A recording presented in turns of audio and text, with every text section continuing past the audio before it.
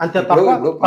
రాజ్యాంగం అమల్లోకి వచ్చినప్పుడు పరిస్థితులు దళితుల పరిస్థితులు కానీ బీసీల పరిస్థితులు కానీ ఎస్టీల పరిస్థితులు ఎట్లా ఉన్నాయో పక్కన పెడితే ఆ రోజు నుండి ఈ రోజు వరకు వచ్చినటువంటి మార్పులలో కొంతమంది అయితే అభివృద్ధి చెందిరు కదా రాజ్యాంగ ఫలాలను ఉపయోగించుకొని రిజర్వేషన్లు ఉపయోగించుకొని అభివృద్ధి చెందిరు కోట్ల రూపాయలు సంపాదించుకున్న వాళ్ళు కూడా ఉన్నారు. ఇదే క్రమంలో ఈ అగ్రకులాల్లో ఉన్నటువంటి కొంతమంది వారి దగ్గర ఉన్నటువంటి చెడు అలవాట్ల ఏం నష్టాల ఏం జరిగిందో తెలియక కొంతమంది పేదోళ్ళు అయిపోయారు వాళ్ళు ఆ కులాల్లో ఉన్నటువంటి పేదవాళ్ళకి రిజర్వేషన్ ఇవ్వడం ఎట్లా తప్పవుతుంది అదే చెప్తున్నాను. ఎకనామిక్ జస్టిఫికేషన్ కోసం ఎకనామిక్ అప్లిఫ్ట్మెంట్ కోసం రిజర్వేషన్స్ కాదు కాన్స్టిట్యూషన్ అయితే వాళ్ళ పేదలు అయిపోయారంటానికి కారణము దేశాన్ని పరిపాలించిన మొదట ప్రధానమంత్రి నుంచి ఈ రోజు వరకు ఉన్న ప్రధానమంత్రి బాధ్యత తీసుకోవాలి. వాళ్ళ అడ్మినిస్ట్రేటివ్ అదే విధంగా మనకు చైనా ఉంది పక్కనే. పక్కన వేరే దేశాలు ఉన్నాయి. మరి ఆ దేశంతో పాటు వాళ్ళ దేశం యొక్క జీడిపి మన దేశం జీడిపి ఒకటే ఒకప్పుడు. చైనాది మందనే. అవును. కానీ మరి చైనా ఎందుకు అట్లా కాలేదు? మనం ఎందుకు ఇట్లాగా అయ్యాము? అంటే చైనా డెవలప్మెంట్ విషయంలో అన్నిటిలోనూ ప్ర- పరిపాలించే పరిపాలకులు అందరూ కూడాను అది కమ్యూనిస్ట్ కంట్రీ అయినప్పటికీ కూడాను ఫ్రీడమ్ లేకపోయినప్పటికీ అడ్మినిస్ట్రేషన్ విషయంలోనూ చక్కగా పరిపాలించారు కాబట్టి ఈ రోజు చైనా ప్రపంచాన్ని తన్నేటువంటి పరిస్థితుల్లోకి వచ్చింది. సూపర్ సూపర్ పవర్ వచ్చేటువంటి పరిస్థితి వచ్చింది. మరి మనం ఎందుకు రాలేదు? ఒకప్పుడు ఈక్వల్ గానే ఉన్నాం కదా మనం. మనం ఎందుకు రాలేదు? తర్వాత ఇంకోటి కూడా ఏంటంటే మన రాజ్యాంగానికనే వేరే రాజ్యాంగాలకనే కంపేర్ చేయడానికి సాధ్యం కాదండి. అసలు మన రాజ్యాంగం రాసినటువంటి అంబేద్కర్కి ఆయన పాదాల మీద నీళ్ళు పోతారో పాలు పోతారో పోసి అందరూ దాన్ని నెత్తి మీద చల్లుకోవాలి ఎవడైనా సరే. ఎందుకంటే నేను చెప్తున్నాను నేను ప్రపంచంలో ఏ దేశంలోనూ కూడా ఇన్ని కులాలు మతాలు వర్గాలు జాతులు వర్ణాలు లేవు ఎక్కడ? రాజ్య అమెరికా రాజ్యాంగం ఉంది ఒకటే కులం ఒకటే జాతి వాళ్ళకే. ఉమ్. ఉంటే నిగ్రో అండ్ ఇది ఉన్నది. తెల్ల అంతే.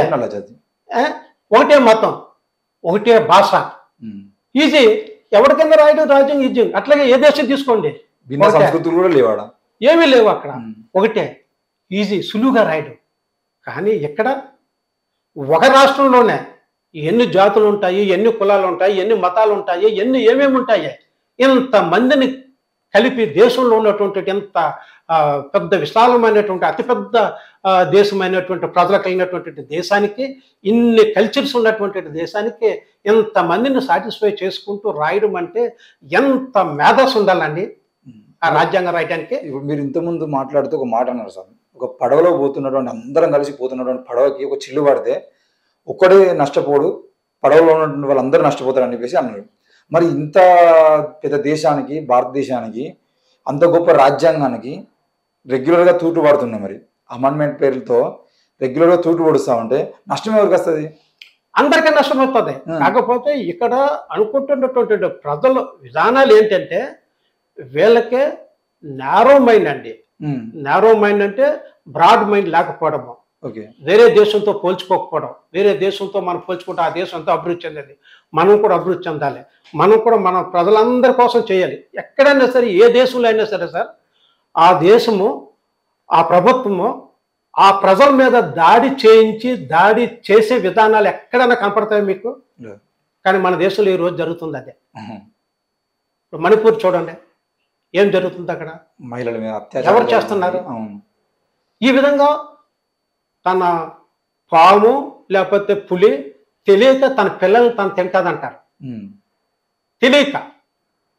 కానీ ఇక్కడ తెలిసింది. ప్రజలు ఆ ప్రజల్ని నీ ప్రజలు నిన్ను ఎన్నుకున్న ప్రజలు నువ్వు మా నాయకుడు. మా నాయకుడిగా మమ్మల్ని రక్షించాలి. నేను మీరు ఏదన్నా ఘర్షణ వచ్చి కొట్టుకుంటూ ఉంటుంటే ప్రభుత్వంగా వచ్చి రక్షించి నిన్ను నాకు మధ్య న్యాయం చేకూర్చాలి. ఘర్షణ లేకోకుండా చేయాలి. కానీ ఘర్షణ ఎంకరేజ్ చేసేటువంటి ప్రభుత్వాలు ప్రపంచంలో ఎక్కడన్నా చూసారా? మరి అట్లాంటప్పుడు ఈ దేశం మునిగిపోయిన ఆవలాంటిది కాకపోతే ఎట్లాంటిది అవుతుంది. ఒకప్పుడు మునిగిపోయాం. దాన్ని ఒక ఆ, ప్రజాస్వామ్య పేరు మీద ఒక స్థాయికి తీసుకొచ్చాం అందరము కలిపి. అందరము భారతీయులు అందరము కలిపి కానీ దానికి చుక్కాన పాపసాయి ఓకే. తీసుకొచ్చినటువంటి వాళ్ళు. అట్లాంటి దేశాన్ని మనం రక్షించుకుని ముందుకు తీసుకెళ్ళాలి కానీ ఇట్లాంటి నేరో మైండ్ తోటి దాన్ని గెంటితే ఇక్కడ ఇంకోటి కూడా ఏంటంటే ఏమంటారంటే మన దేశాన్ని విదేశీయులు పరిపాలించి దోచుకున్నారని చెప్తారు. నిజమే. దోచుకున్నారు. ఖచ్చితంగా దోచుకోలేదని చెప్తలేరు దోచుకున్నారు. వాడు విదేశీయుడు దోచుకున్నాడు వెళ్ళిపోయాడు. కానీ నువ్వు స్వదేశీయుడు ఈ దేశవాసుడు ఈ దేశంలో ప్రజలకు మాకు చేస్తామని చెప్పినటువంటి వాడు నువ్వేం చేస్తున్నావు? నువ్వు తీసుకుని వాడు దోచుకున్న సొమ్ముని విదేశాలు పట్టుకోడు నువ్వు ఇక్కడ దోచుకున్న సొమ్ముని తీసుకెళ్ళి విదేశాల్లో పెడుతున్నావు నల్లదానం కింద. మరి ఏది ప్రమాదం? అదే మోడీ గారు ఏం చేశాడు? ఫస్ట్ పవర్ ఆయన ఎలక్షన్ క్యాంపెయిన్ ఏం చేశాడు? నల్లధనం నల్లధనాన్ని తీసుకొచ్చి ఒక్కొక్కరికి పదిహేను లక్షల రూపాయలు నేను మీ ఖాతాలో వేస్తాను అనలేదా? అంటే నల్లధనం అంతా ఇక్కడి నుంచి అక్కడికి వెళ్ళిపోయిందన్నారు కదా. అంటే వీళ్ళ దోపిడీలే దోపిడీదారులే కదా. ఉమ్, వీళ్ళ కూడా వీళ్ళ దోషం ధనాన్ని తీసుకెళ్ళిపోయి విదేశాల్లో పెట్టుకుంటున్నారు కదా.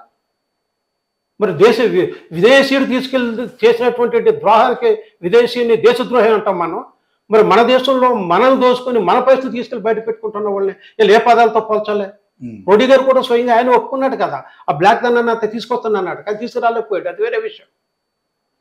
సో ఇట్లాంటి మనస్తత్వం ఉన్నటువంటి మన మనస్తత్వంలో మార్పు రావాలి.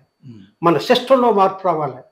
అందుకే బాబాసాహెబ్ అన్నాడు పొలిటికల్ రిజర్వేషన్స్ వచ్చాయి కానీ సోషల్ అండ్ ఎకనామిక్ ఫ్రీడమ్ రాలేదు.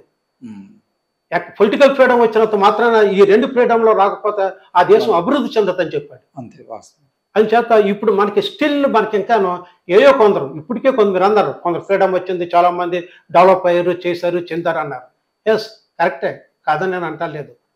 కానీ అట్ ది సేమ్ టైం అందరికీ రాలేదు కదా.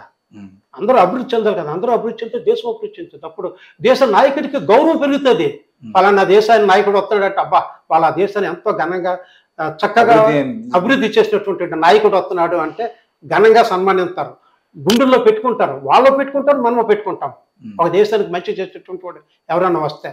అలా కాకుండా ఒక దేశం నాశనం చేస్తున్నాడు అనుకో ఇప్పుడు మన దేశాధినేతలు బయటికి వెళ్తుంటే అక్కడ ప్రజల నుంచి ఎట్లాంటి స్పందన వస్తుందో మనం చూస్తున్నాం మనం. బయట ప్రజలు.